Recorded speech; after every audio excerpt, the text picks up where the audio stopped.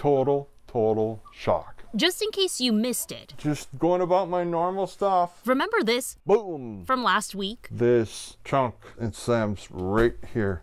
Literally right here. A mystery ice chunk crashed through an Elk Mound, Wisconsin man's roof. The whole room, it just blew. Rather impressive. Well, this week, with bits of wood in it even. Yeah. researchers at the University of Wisconsin Eau Claire have some answers, well, a working hypothesis. It's really light. The biggest question right now is like, what is it? Have you guys seen something like this before? Well, it's a big chunk of ice, that's for sure. Uh, right now, it's pretty heavily contaminated with insulation and materials from this poor gentleman's house who crashed through. But apart from that, the most likely answer is a mega cryometeor. A mega cryometeor. It is truly a freak of nature. Basically, a chunk of ice that forms all by itself. Something like this does not form slowly. It's going to take some extraordinary conditions Yeah. in the upper part of the lower atmosphere, which we call the troposphere, to form this thing very quickly so that it can drop. Despite the fact that maybe a dozen of these fall every year around the world, literally in every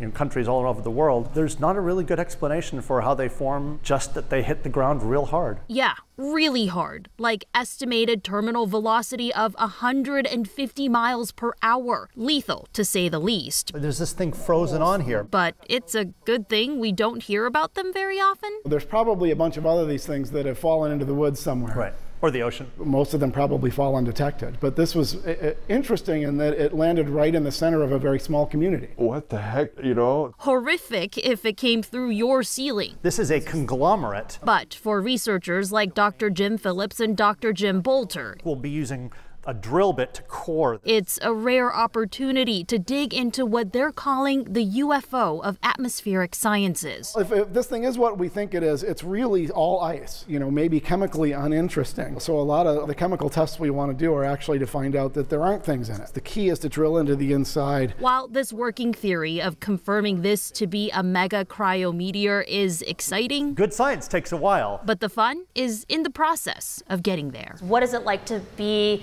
randomly selected? You guys have been inducted into the secret society. You know, most of the stuff we do is, you know, much more straight and narrow kind of mainstream stuff that we understand that doesn't necessarily have the that kind of appeal. And then this block of ice falls out of the sky and it's like, well, here we are. We can use this stuff to do something kind of interesting and random. That's more of that kind of weird discovery kind of mode that got us interested in science, Right. you know, at an early age.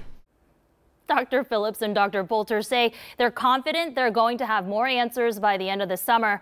Okay, fun fact there was a stretch of time back in January of 2000 when Spain saw a whole bunch of these fall for 10 straight days.